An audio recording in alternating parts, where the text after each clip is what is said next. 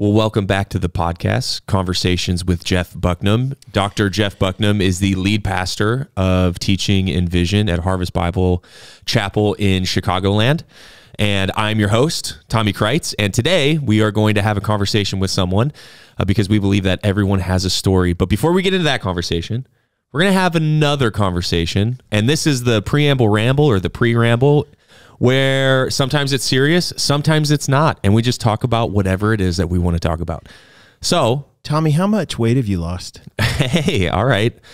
Uh, so I weighed in at 183 pounds this morning, and I started at about 219. Holy smokes! so buddy. what's the math on that? Over 30. Yeah, well, you're close to forty now. Getting there.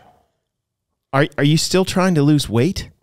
I am. Why? I'm uh cuz I I'm trying to I had a number in mind when I started and I want to try and get to that number. Before you inflate yourself back to the Yeah, former number? no, and then maintain. Because I've been here for uh, a few years, and Uh-huh. I think I've seen two. Iter- th- this is my third iteration of Tom of Tommy. Yep. Tommy's weight. There's weight there is only two. There's skinny Tommy and fat Tommy. Those are the two the two iterations. Yeah, I would never ever use the word fat to Well, the describe BMI you at all. The BMI calls me obese. I'm in the red. Do you know? I got to tell you. I mean, I don't know what the, first of all, I, and this probably because it's coming from a fat guy, me. But I'm going to tell you something. Uh-huh. The BMI is an interesting thing. Yeah, tell me about it. Tell me your thoughts. Well, I Doctor? don't listen. I got to be honest with you. I think everyone at some level has less confidence in the medical community than maybe they did before. And it has, listen, it's not because you necessarily were for or against any particular thing that they they did, but just the fact that it's been so much in question, the from the food pyramid to the COVID to the like all of the stuff just seems to be it's almost like like when I was a kid, everyone was like, you got to eat bagels and no fat. Yep. And Remember no eggs. and don't eat an egg. Yeah, and apparently that was not the thing. Carbs. And then it was like, don't eat any carbs ever. yeah. And now it's like, actually, you kind of need some carbs. Mm-hmm.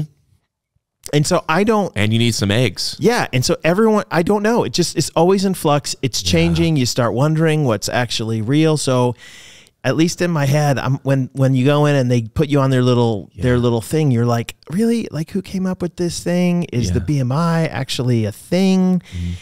Is it because uh, you know I've seen some really fit people score be high on the BMI, Yeah. and I'm like that person like runs think that that was me? marathons. You think that was me?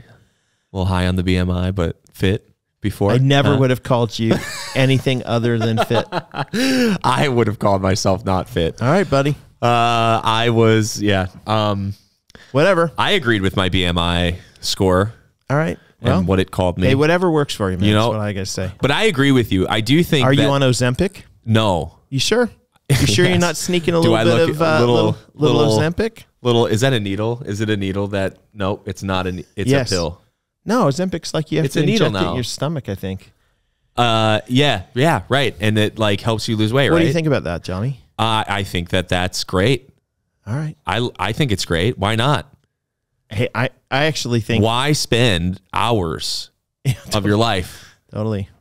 walking on a treadmill, lifting weights, eating? You know, Yeah, I I tend to if be a little I bit if of a I would have libertarian known when it about that comes to before I started, maybe I would have went a different route so that I could go outside of um, So what the are the Crystal things? Lake Church and just go straight over to the cheese curds that are calling my name at Culver's. What are the things that you're you're not eating right now? I am not eating any processed food. So only only whole foods. Okay. So I have stopped eating. I okay. So here, confession time. All right, Father Jeff. Uh, I Are cheese curds processed? yeah, yeah, I don't know. What do you mean by processed? yeah. Like processed. Like um, So you so if you I actually you don't, don't- know what I mean by that. I just use the word that everyone else you dig uses. up your own it's like carrots and, you, triglycerides. what are those? I have no idea. and you eat those carrots right out of the ground, do you? Yeah, well, no, like I'll have like a, like that's a, like a carrot or a vegetable or something like that is like a whole food. So I'll eat Oh, that or chicken, um, like a chicken breast or Bones and all. uh, no, I I Those that's a whole food. Well, I do have rotisserie. I mean, technically, I could eat the bones, Do but you I don't want to. Off of I bet trees? that, I bet you that's a whole food. I mean, it might might be. I don't love it.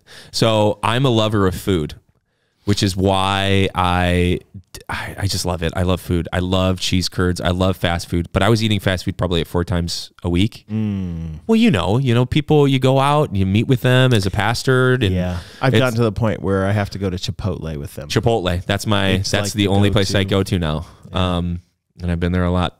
But we are Crystal Lake is is wonderful and beautiful. Our church, but it is in a really unfortunate food uh. Yep. location It is. in terms of some people would say that it's wonderful. Right out the doors is Culver's. Yep. 30 seconds away is Raising Canes. Yep. 31 seconds away is Go, Gomez. Guzman and Guzman y Gomez. And like a minute away is uh, Chick-fil-A. Chick-fil-A, Portillo's. and Texas Roadhouse. and and closer is, is Chipotle Yep. and uh, that smoothie shop. Oh, tropical smoothie. I took you there. Yeah, There- it's The Bahama Mama. Can That's you what we eat got. that? Smoothies, yeah, for sure. Yeah, we make we'll make them because they. But you wouldn't go to you wouldn't go to a smoothie shop. I would, yeah, I would go to a tropical smoothie or something like All that. right. It's just expen- It just gets expensive if you. Okay.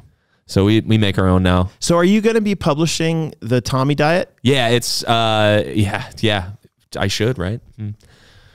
What we do here's what we're going to Just do. I'll tell you what I did. We're going to make sugar pills, and Yep. we'll say that they were the things that helped you, and then we'll Yeah. sell them, and that debt will be gone in no time. Yeah, yeah. This is the best thing. Uh, it's, it's better than Ozempic. I'm proof. I'm proof of that. And uh, I don't actually know how Ozempic works. Do you know how it works?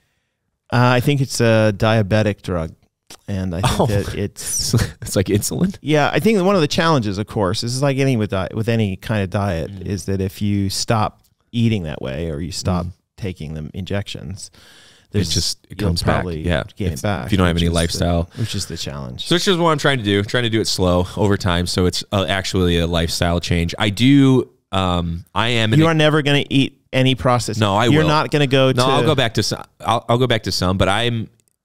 I think for the past like three months, I've been in a calorie deficit, so I'll go back to what they call maintenance. Three months of calorie deficit. yeah. Nice. Except for uh, Monday, this Monday, I took my daughter on a date day. And We had a fancy day. I asked her in the morning. I said, "Ava, do you want to go on a fun date or do you want to go on a fancy date?" She's five, and she said, "Daddy, I want to go on a fancy date." So we both dressed up. and I took her out to a fancy restaurant and then we went to the nail salon. And I first off, I have no no, I didn't. I have I didn't realize before I got there that I had no idea what to say when I got in the nail salon. yeah. So I walked up to the uh, to the counter and uh, the woman's like, "Hello," and I'm like, "Hi," and we just Just awkward for just a second there. Like silence. She goes, "What can I help you with?" I said, "I don't actually know how to ask for what. I- I just want her." And I just grabbed her hands. I'm like I want her see nails. this mess. I want you to fix it. They're hideous. No. And so she got her nails uh, done. Did she get little press on ones? No, Now she got, the- just the paint. nice. And then here's the part where I, I uh, we went to a fancy dessert, which was Crumbl cookie. Oh jeez. And can I just say I've never had Crumbl cookie before Yeah. until that moment. Yeah. And it is Yeah. so when I read like uh, the Old Testament, we you know you hear about the manna from heaven. Yeah. No. It's what I Yeah. believe Crumbl cookie to be. Yeah. You can't go there. My wife told me, "Is this true? Does anyone know about Crumbl cookie?" She said that there are a thousand calories in one cookie. Is that correct? Um, Holy pro- moly! that's probably the I messed up big on Monday. Okay, I had a problem. I mean, you. I only had three. Well, I took we got the four pack, which, uh, by the way, w- way more expensive than I thought it was going to be. But I guess you know if it You're can lucky. sustain you for a month, um, that's fine. Um, but it, uh, yeah, I took a I took two bites out of each cookie. nice. Well, So- it feels better that way. Yeah, I got to taste them all. So, is that the thing that you would end up having if you had a chance? Like, if you can't have around, in order to maintain your diet, you Yeah. can't have Crumbl cookie around. Yeah, I told I told my wife it was still on our counter when I left this morning, and I said, "Can you please make sure that that's gone by the time I get home?" Okay. Because I can't the amount of willpower that I have to exert, self control. Yeah, donuts are that for me. Uh, yeah, donuts are good. I can't have What's your favorite donut um around here? all Country. all of them. Been to Country Donut? I have been to a few of them, yes. but Spunky please, Dunky? Uh, my fear of telling people donuts, then they want to be nice go around get you Christmas one. stuff. And said, here, it's Mm. this special thing, and you're like, oh man, Now I got to eat them all. Yeah, I, I, the donuts are, are, yeah. Right now, everybody seems to be really into the into giving me the donuts from this farm called Tom's out in Huntley. Oh yeah, Tom, And they there's all donuts. oh, the apple yeah. cider. They have apple cider ones, and then they also have the these uh, pumpkin spice things going on. and everything nice. And yeah, you can't do that. Yeah. To a guy with a heart condition, Yeah, please bad. stop. Yeah. Please. Can you have apple cider? Is that okay, or is no, it just sugar. It's sugary? too much Yeah. I do. I would say that I haven't had a ton. of, well, I haven't had any like uh, sugar like that in a long time, and I it it it jazzed me up a little All bit. right. It's a little. Speaking of jazz, Speaking of speaking of jazz, we, we get to talk to we get to, I, I I have part two of a conversation. yes with Mike Smith. Mike the Jazz Master Smith. Yeah, that's his nickname. Is the Jazz Master. yes. and uh, everyone calls him that, and you should too. But you guys are going to have a conversation because we believe that uh, Mike has a story, and you guys are going to get into his right now. Let's go.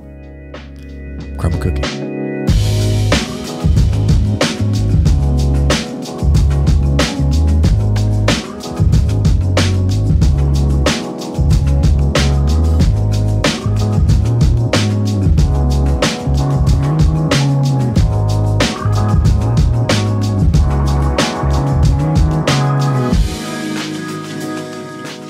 Sitting here with Mike Smith, my friend Mike Smith. Um, Mike, I need to actually give a uh, a warning, a Sure. preamble to this is my part two of a conversation that uh, I began with you last time. I got your story about, and I've I want to talk to you more about some issues that you would have a unique perspective on Mhm. and that I want to ask questions about because I find myself really inquisitive. So, uh, what you're about to listen to is two brothers, friends, who regard, I, I respect you, you respect me, Please, absolutely. and uh, who are going to be talking about issues related to uh, race relations in the United States, Yep. in the church, all of that kind of stuff. Uh, I'm saying in front that uh, whenever you get into these conversations, there's a bunch of people who listen to them and immediately jump to the conclusion that any conversation like this must either be uh, very woke, which is the language that they'd use. So Sure. anybody who would like admit that oh this is an issue and they you, you know and that there might have been a case to be made uh, bef- for all the people who reacted to the George Floyd uh, situation by rioting or being frustrated with it, they'll say oh my gosh those people are have all gone woke and I've heard that about the church, which I'm going to ask you about in a minute. I've also the other side of it is the church is ignoring the fact that there are racial problems in the so anytime you talk about an issue like this, tends to divide Christian people. I don't want to be divisive in any way, but I do. Uh, I, I am uh, an, a bit of an outsider from the United States over the last number of years, and my experience has been when I left the United States and came back twenty something years later to live here. It's really different. Like there's there are tensions that I don't recall as much when I was younger, and it's probably because I was naive when I was younger and I just didn't pay attention to it. Right but I have uh, my own uh, particular background, having been mentored and by uh, my my well, one of the most important men in my life was my African American friend Ken Hutcherson, and so Sure. I'm a product of his input in my life, and uh, have spent some significant time around African American friends who have meant and dear to me, and not just African American, African friends who Yeah. meant a lot to me. No, I appreciate you saying that. And quite honestly, my two cents that I would add to your your comment with how we we're going to start this conversation is I hope those listening to it can just take it for what it is in terms of how you framed it. It's two brothers just talking. Yeah. I'm not going to put myself out there as a guru who has done insightful research and I'm going to be quoting authors. What we're going to do is we're going to talk and we're going to share perspectives and, and impacts. And I'm going to try and share uh, a frame for people's understanding of what it was like to see through my eyes, knowing that if they go back to our first conversation, when you asked about my experience, I said, I don't speak for the black community, but I can speak as a black man. Yeah. And again, I'm speaking as somebody who's been outside, uh, who who watched a lot of this from a distance, Sure. um, and wasn't sure what to do with it. So maybe this is my crack at trying to understand a little bit about it. Sure. So here's my, my here my big one of my big questions is, uh, Mike, would you would you say that there, like, if you were going to rate the level of of of racism in the United States, would you say that it is uh, on a scale of 100, 100 being like the worst racism that we've had to zero being none at all? Kind of where would you put it in general on that scale? Is that too scientific to No, it's not too scientific, and that goes back to whoever's listening to this is will agree or disagree Sure. with the answer that I give, and I would your paint us- experience though and your perspective? my experience and my perspective would probably put us right about in the middle, Yeah. um, if not a little bit higher. So only are- because the rhetoric that's out there has exposed a percentage of our community and our nation that even surprises me because it was quieter. So that's my question. I think because when I was younger, I would have I would have said I think when I was growing up, I would have said it was kind it was kind of in the middle, maybe a little bit less. I just wasn't aware of it as much. Of course, I grew up in the Seattle area. It's a northern um, city. Uh, and admittedly, I grew up in a largely white area, so my experience with with uh, people, uh, especially the African American population, was with dear friends but they were always kind of adapting to do you know what i mean to kind of white culture at the time and so i don't uh, i don't know if it's just my experience that wasn't aware of it maybe somebody who was living in other parts would have said no it was really there you just didn't know about it but i keep wondering all right has has it grown over the years has it just stayed consistent and we just didn't talk about it as much or or what Fairly consistent, probably not talked about. yeah uh, when you talk about and you cite George Floyd, you can't. It's hard to argue with a picture. It's hard to argue with a documented video that puts something in front of someone's face that they can't just say that's for those people talking in that community. Yeah. That brought it into everyone's house. So uh, there are people who are frustrated with the George Floyd uh, uh, situation in and of itself because they want to get into the details of did he actually die of asphyxiation or or drug overdose or things like that. I don't. I don't actually want. I don't want to address those issues. To be honest with you, that's not to me. That what happened to George Floyd is not. It's terrible, and we could talk about it, but I. That's not really the issue. What the issue for me though is how that event exposed a wound that lots and lots of people say that they had, and I, I unfortunately feel sometimes like the conversation about race in the United States and race in the church gets too locked in on the specifics of that particular event. Sure. Again, I understand. Legitimate discussion around those that. But the issue of race, racism, and the prevalence of that this man who was on the ground for whatever reason and had a knee on his neck struck a chord Mm-hmm. with an, the African American community in a way that I think surprised a number of people. Mm-hmm. Were you surprised? I wasn't surprised by the expression when people started in understanding and saying, "I need to tell people about this wound that I've been carrying." Yeah. that's why I said it was taboo. We we last time we talked, I told you if I I could be offended every day if I wanted to, but I choose not to approach my day that way.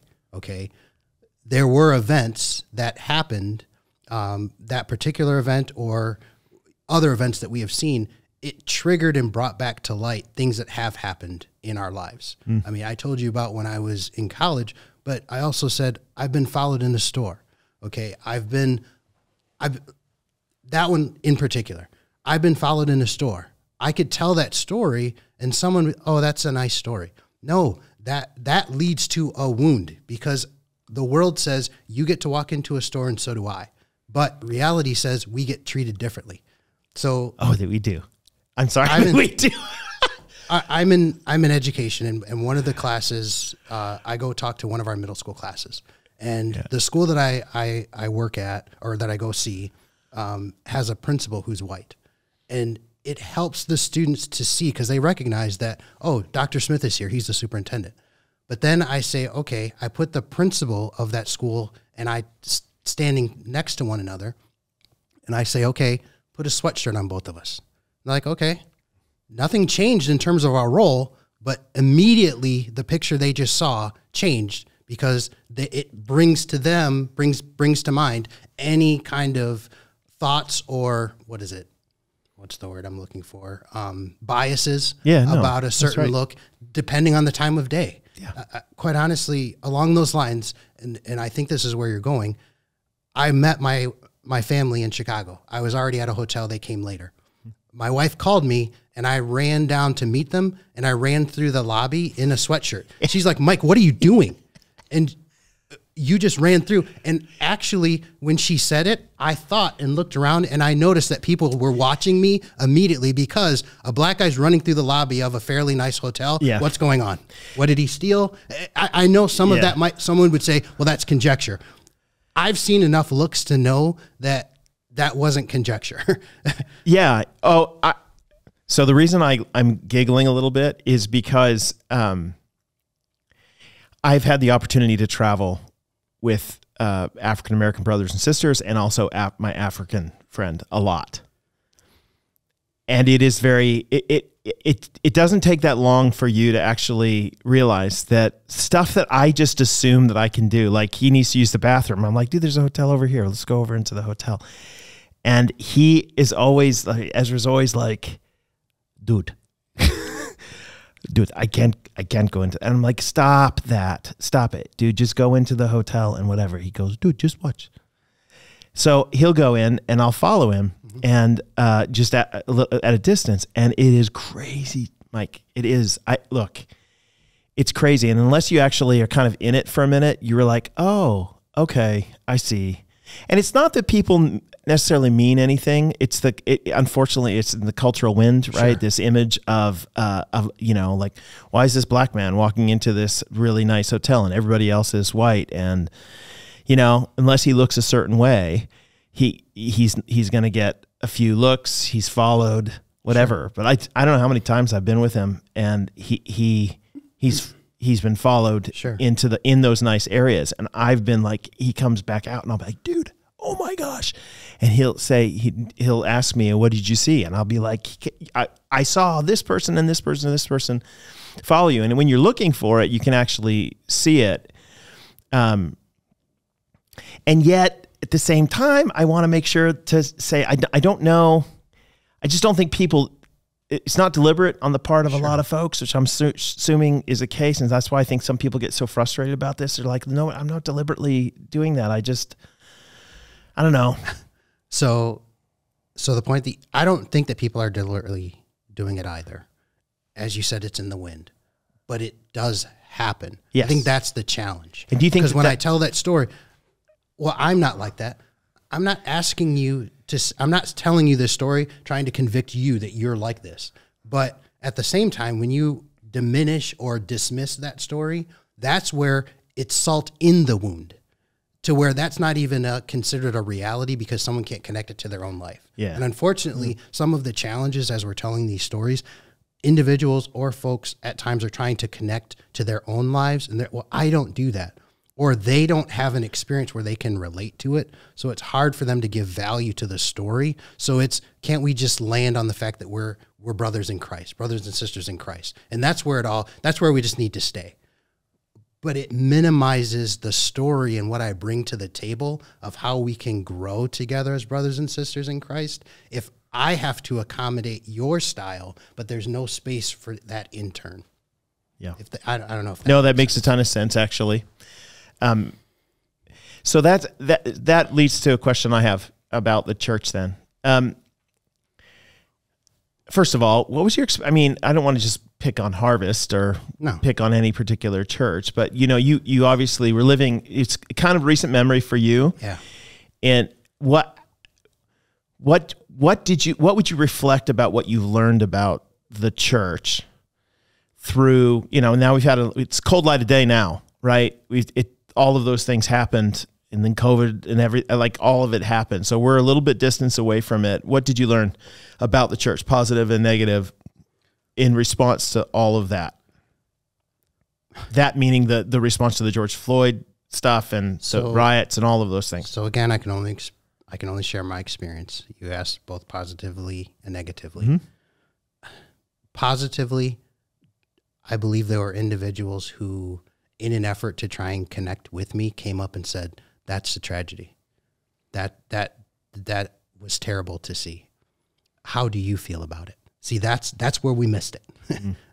as soon as you say, "Wow, I saw this and that was hard," or that, th- man, but how do you feel about it?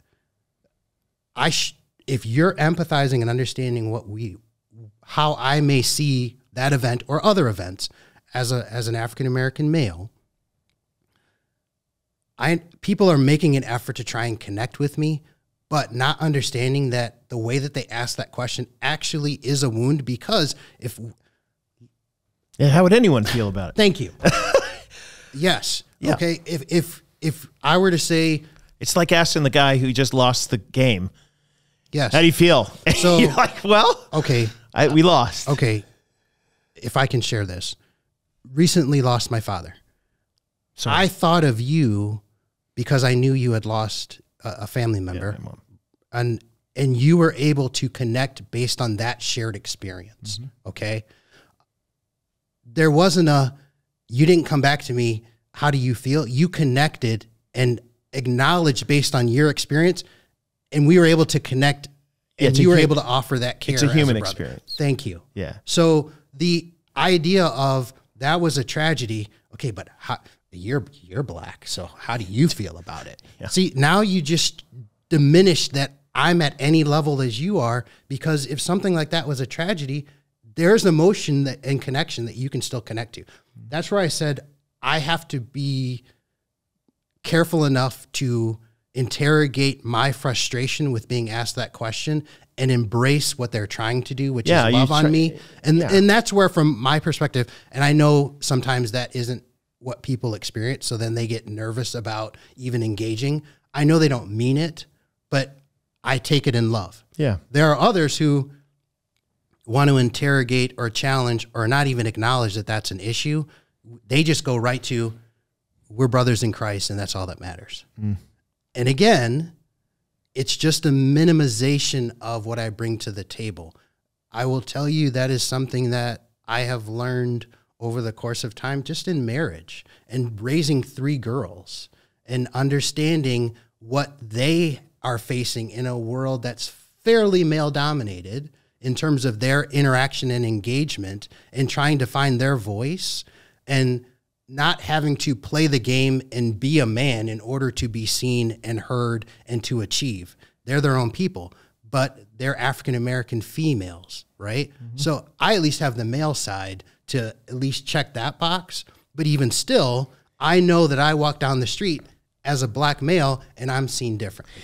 Yeah, what's really interesting is that there are there are settings in maybe it's because I've lived outside the U.S. and I know what it's like to be an American living somewhere else. There are certain settings that you go into uh, as an American. Forget any kind of racial differences. If you go into in a certain setting as an American, you're you're uh, you're aware. Yeah. Uh, of how people are looking at you. Yeah. Do, do you know? I hope So- you understand what I mean. Like I so, do. so uh, there there are different settings that people from different subcultures go into that they're they know they know that uh, they are, maybe are on edge or there there's a challenge for them there and, and so for women there are some settings that are particularly hard I, I actually think the workplace is probably one of them because so historically they, they you know there there's this kind of consciousness that I you know historically we're not usually in these spaces and that kind of stuff um, yeah good Going back to answering your question though, that was I started there because that was an effort where people I can applaud their effort of trying to connect. And really, where there was excitement was there were those who genuinely connected, and you could see in the marches, they were multicultural. Okay. That was a wow. It's not just us because I'm supposed to be the one raising my hand. When you raised your hand and said, no, this isn't okay. Okay. Now we got some momentum. Yeah. Uh, and within the church as well. But then it got tricky because if we really go too deep, we're going to lose membership. If we really go too deep, it's going to make people uncomfortable. And that's not what we should be talking about in the church. Okay, you know what? Remember that wound we were just talking about? We just we just opened it right back up again. Yeah. And there's a challenge, of course, that we don't. Uh, the church is not about heaping false guilt on people, and it's also not about ignoring clear challenges. And it's difficult for for to find the right voice for for any and everyone. My big thing is, you know, the way that you approach any, the way that you approach any brother or sister in Christ is uh, with a posture of listening to him. And to me, that was the from sitting outside the U.S. That was the biggest thing that I I kept wondering about was like I. It feels sometimes like we're so committed to our particular positions that we're unwilling, and our and our narrative about the way that life is currently, or politics, Sure. that we're not just willing to say Well, and this person's experience is a little bit different than what mine is. I love that in that it also took some pretty some pretty intense experiences for people to slow down and even think to listen Mm. versus these are things that have been talked about for a number of years but it was like this lightning rod event oh let's let's stop and and really listen but you people stop listening though because it feels like we're back to again it's taboo and quite honestly, some of the rhetoric on the other side, to your point with how this started, is if you bring it up, then you're being woke. Okay, yeah. I, I have a challenge with that as well. Well, it always uh, everything's it, it. You tell me if you agree with this. It feels like everything in the church these days gets boiled down to political uh, commitments. Like even the language of woke is is it has a political edge to it. And I again, I listen, just so everyone knows, I have my politics. Mike has his politics. We probably share some views in some areas, and we might not share views in other areas. But our brother brotherhood in Christ is 100%. paramount. And so, but I, so I I I have an ear toward people who are like, look, we can't give in to Marxism. I'm like, yeah, that that makes sense. But I also think sometimes it, it's it's become like, well, there's in fact this has been one of the big debates actually in the Christian church recently online, is that there there are some people who have been writing and saying that the church and some of the pastors the churches have become really really woke and haven't known it because you know all these people have been spending money uh, from liberal causes. They've been spending money to try to convince the pastors of that. There's actually a woman who wrote a book that, about this, which is it's just fine. And there's probably a point to be made there. And some of the things that she highlights, you're like, yeah. On the other side, though, like why can't we have a conversation about the fact about some of these particular issues? And it's that it's not like the church has been freed from i mean let's look at some of the things that have happened over the last number of years. It's not like the church was freed from any of the me too stuff. I mean if there's anything that we've come to learn is that actually women haven't always been treated that well mm-hmm. in churches. And i'm a complementarian. Mm-hmm and I'm like, wow, this is it's terrible. And so there is kind of a reckoning that needs to happen in the in the church about that. And to call somebody woke for believing that is like, wait, what? I I don't think that's the case. Similarly to dealing with some of the racial disharmony and things, I just don't understand why everything has to kind of boil down to, well, what you're saying doesn't doesn't eh, isn't in line with with Republican politics or Democrat politics. Those are not the two only two options in the world.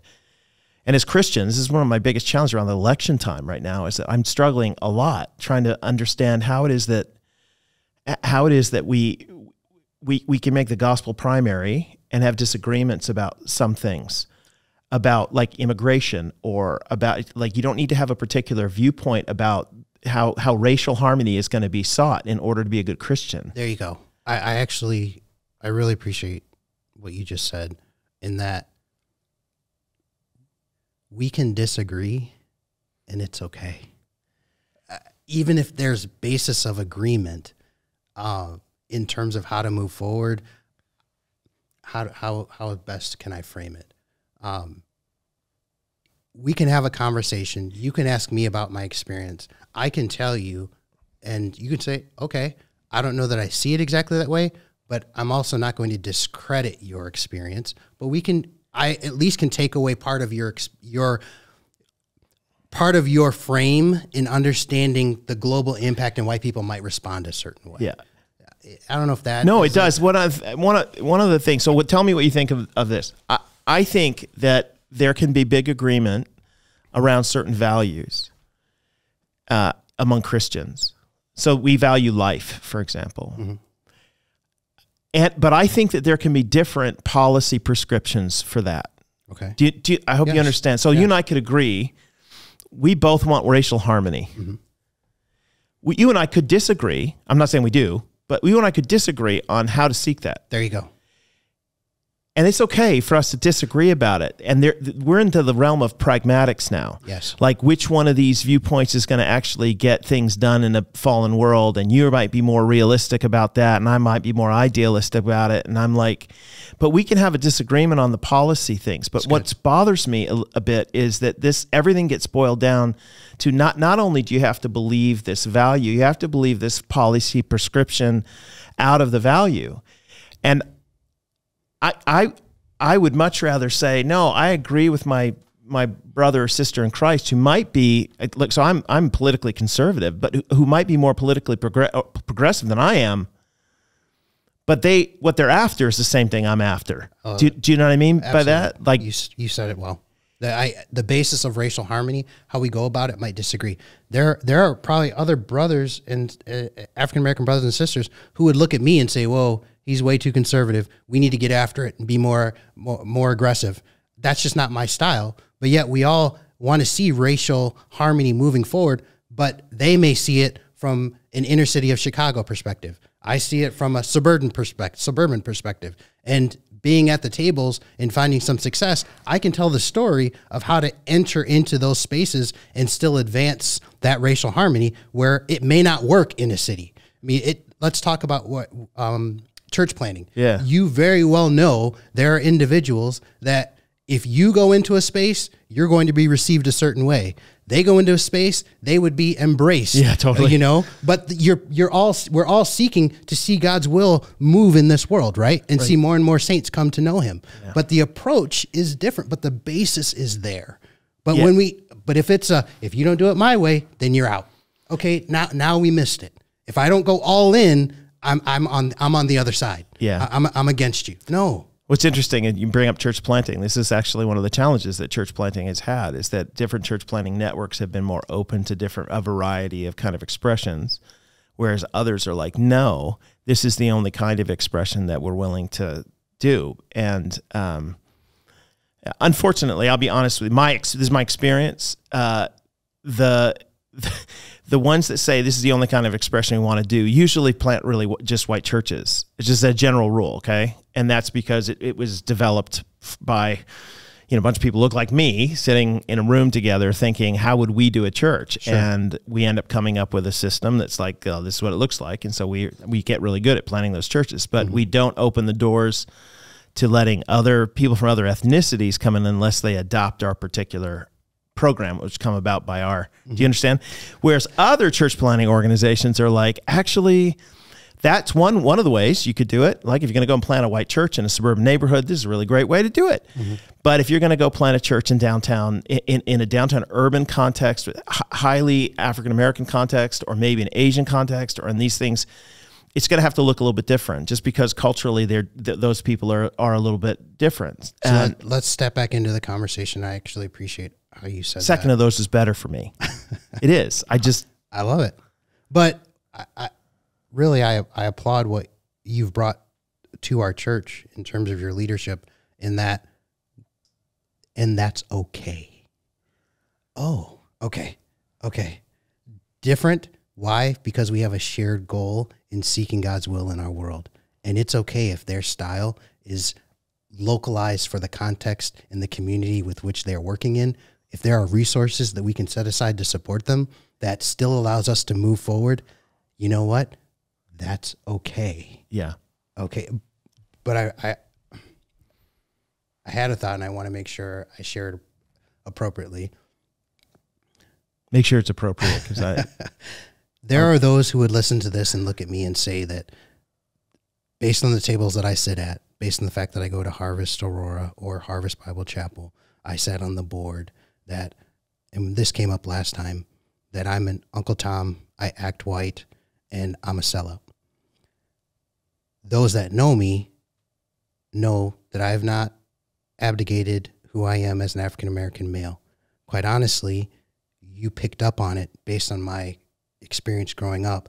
I've lived a duality mm. of of of a life in that I can sit at the table and people don't know that they know that I'm black, but at the same time, I know how to sit at the table. yeah, you have to operate and within the engage setting. to where we can still move forward. It's not, oh, the black guy's talking now. And I'm not minimizing or uh, disparaging the individuals I work with. There are some phenomenal people that I've sat around the table with. But I know that the if the tables were turned and they were that sole person at the table, the comfort level may not be there. Mm. So th- that's the context when you started this conversation about what is it like and what have you felt. I knew that I had to be restrained when things were going down as I was sitting at those tables. As much as I wanted to extend my frustration a little bit more aggressively because people weren't ready for it. Mm. I had I had to share this is what the, this was the challenge that I ran into and people will hear me say this and say I sold out again.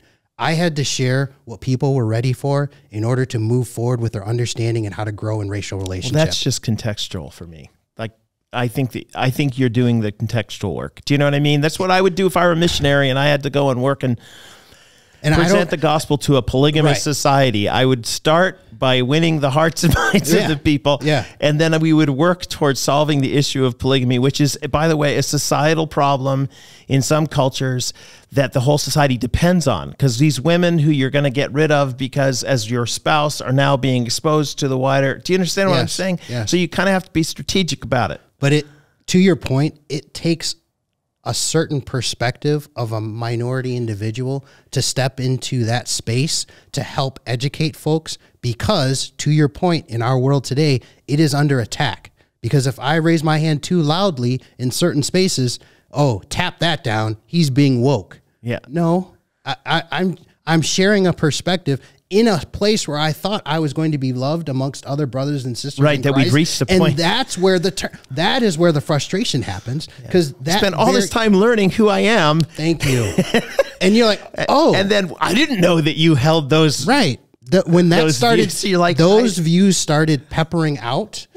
Thank you, social media at times, and it was like I was, hmm, because yesterday I was just sitting next to that person, and I thought we were good, but wow, oh, I say we are good. It's uh, yeah, yeah. Uh, one of the things that's happened uh, online as well is that there's been a. I mean, a lot. This is just an illustration of what you're trying to say, but maybe in a different context. Is that Tim Keller is a really important uh, mentor from a distance for me uh, in a lot of ways. I, just so you know, I do not share every one of Tim Keller's viewpoints. Some of the stuff he's written on hell, I'm like, eh. Uh, he he sometimes sounds like he's a little bit given over to, or historically was given over a little bit to theistic evolution. He's not. He was talking that way to gain a hearing with others, but I, I wouldn't talk that way because you know I just I don't I don't, I don't think that it, he was right about those things. Cool, but he's been taking it on the chin. He's dead, and he's been taking it on the chin online from a lot of people for being a kind of a sellout. And I'm like, you guys, you do realize this man was like preaching the gospel in Manhattan, right? Like if you go to Manhattan and you and you decide that you're going to end up being like uh, uh, cer- certain uh, politically minded uh, pastors out there who are just all about the conservative politics, I'm just telling you, I, I don't. You're not really going to get much of a hearing. Most of the people, and I know several pastors in in that part of the the world, and it, lots of pastors in urban contexts are trying to reach lost people who have been influenced by secularism. Mm-hmm. So they have to speak the language of secularism in order to do it. In the mm-hmm. same way that a missionary to Buddhists would have to speak the language of Buddhism mm-hmm. or the language of Islam or the language of Mormonism or whatever. The prevailing worldview, you have to enter it. This is good missions. you have to enter it. So he's doing good missions in New York City, understands the culture, and he's speaking to the New York mind. Sure. But now he's getting bashed from people who are, you know, are like, you should have been stronger on these particular political ideals. And I just, it bothers me because I'm like, look, I think that you guys holding those political ideals in certain settings in suburban America are is great because that's that's the that's what you're reaching out mm-hmm. to. Mm-hmm. But that's not Manhattan. Mm-hmm. So for anyway, my point is there needs to be an awareness of context and there needs to be an understanding that different people are trying to live their Christian life out in a in a series of contexts and because they come to different policy prescriptions than you do does not mean they're selling out. It it simply means that their context might be a little bit a little bit different. No, that's that's I love that. And oftentimes what we find is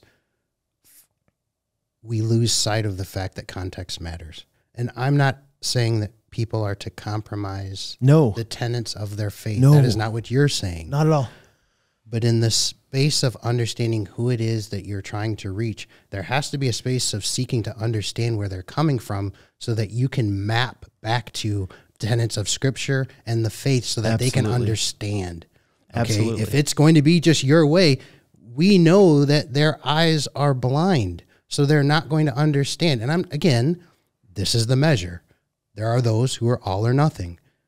I'm not saying stepping into and engage in whatever it is that uh, an individual is involved in, but you have to slow down enough to understand the context of their life experience in order to know how to connect back to and what Christ would say speaking into their world. Some of them, that experience could very well be hurt from the church. Yeah.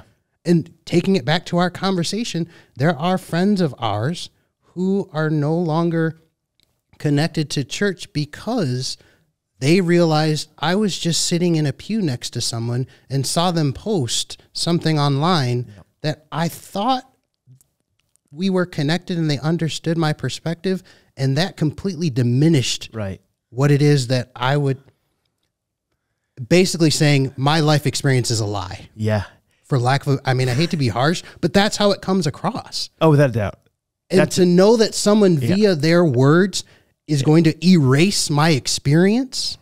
Are you kidding me? I know. And listen, uh, again, we, we are we all want to be open to having people around us reframe our experiences according to maybe their understanding. But my experience still counts for something. Do you know what I mean? Like that's that that's that's the thing is that you've and and if that experience is shared by an enormous number of African American brothers and sisters. This is where I'm like, okay, so like half, like most of the black people in church right now are saying, yeah, this is a thing. I'm like, well, it's a thing then, Might be a right? thing. It might. Like it thing. might be a thing. It's not like they all got together one day and we're like, you know what?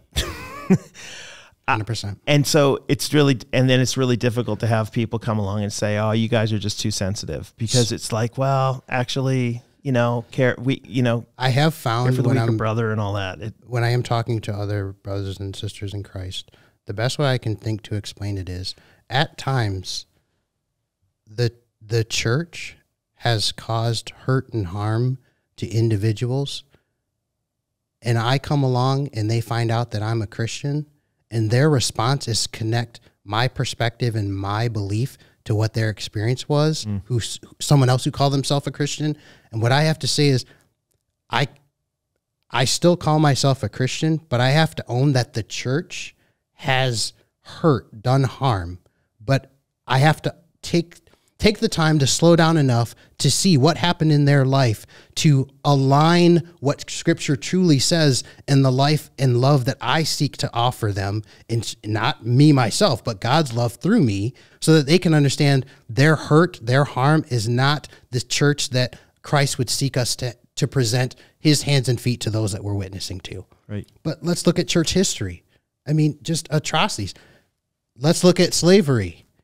The church used the scripture to justify slavery. Yeah. And one of the challenges that really has exist exists is that um, we are not that far away from uh, in years wise from the days of segregation and all of that. So what's ha- what happens is that parents who experience the segregation and the racial challenges tell stories to their children because that's how the world works. You tell stories to your children about what to be careful about, what to avoid, mm-hmm. what to know about. And then those children, even if they are, it doesn't matter if they're experiencing as much or less, when they do experience it, they have a category to place it in. Mm-hmm. And then they share it with their children. So you might, over time, there might be getting less, but because it's happening still, it ends up fitting into this collective generational understanding of the world and how it functions. So I love that you said that because let's go back to our first conversation where I articulated that I know that I represent at times people's first iteration with running into the construct that they've built based on the stories their family have told and what they experienced knowing me. Yeah. Wait, wait Mike's not like that. Oh, but he, Mike's black. But okay, here's the pressure I feel. I carry that weight. So on this side, yeah, Mike's like that, and you're able to account and, and get along with him because he's a sellout. Those are the extremes on on uh, amongst the black community. There are those who no, we're we're normal, we're human. You can talk to us, and that flies in the face of the stories, as you just said, that were being told. Here's a perfect example. I was in college. There was a young lady that um, I went on a date with. I met her parents. As we talked, she came to me and said, Mike, I don't think we can continue to date. Well, why? I talked to my parents and they're worried. They don't think that um, I'll be able to cook your food. What? I, but this is what's funny is I had had dinner with that family multiple like- times. like, I loved it. and, it, and it, it- I ate it. I mean, we season a little bit more, but I can I can get up with what you put on the table. But that was the story that they had told, and she was like, "Yeah, they said I can't cook your food. We don't. We're not concocting some crazy menu that you know we're keeping a secret. It's just, uh, it's it's that. But at the same time, I could have held on to that, and that could have had seeds of anger. Yeah. But I knew that that was a perfect opportunity for me to help educate her to hopefully break the cycle of what you just talked about. And you telling that story brought, or giving that example, brought that story right back to my mind because I have a connection and experience. To your point, that wasn't very long ago that that mentality was shared. So The thing is, that's one of the ways out of it is over time when you have less. So if, if somebody's been treated, uh, has been racially discriminated against, and then they tell stories to their children and those, but the less and less it happens, the more and more you're able to look back. And that's why it, honestly, I think it probably was a pretty decent moment for the church and for the world in general to be able to say, we're not there yet yeah, right? And and maybe we need to take a, a, a little stronger look at how we treat each other and how we listen mostly yeah. To one another. And there there was a false sense of I, don't want to minimize it, but I will say it. Well, we had a black president, so we're good. Yeah, totally. Ticked that box. Amazingly, that didn't solve everything. I know it's crazy. So, yeah. yeah.